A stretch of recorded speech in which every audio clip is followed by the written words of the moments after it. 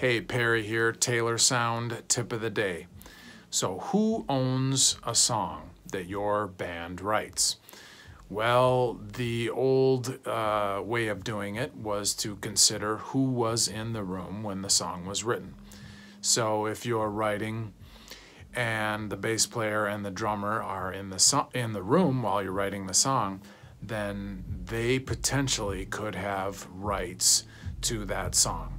Now, they may or may not have contributed to the song. Maybe they're just sitting in the corner and not doing anything. Well, if they're in the in the room, uh, you want to make sure that you get agreement that they didn't have any part of writing that song, because that will be a point of contention down the road when if you do actually have a hit song or you're making money off of a song and you don't include them in the publishing or the copyrights and they're not getting checks and you are.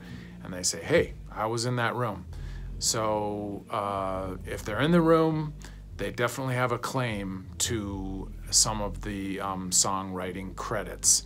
So make sure you have discussions with your band clarifying who owns what and uh, think about who's in the room when you're writing a song. Rock on